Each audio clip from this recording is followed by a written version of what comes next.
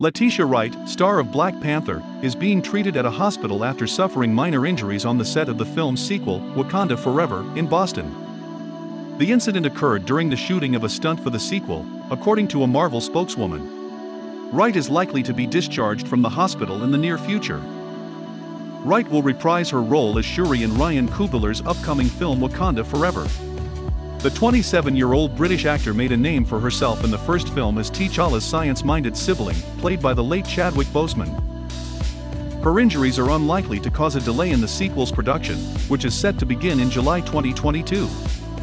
Daniel Kaluuya, Danai Gurira, Lupita Nyong'o, Winston Duke, Angela Bassett, Michaela Seal, and others feature in the film. Another Marvel superhero has recently been revealed to be in the film.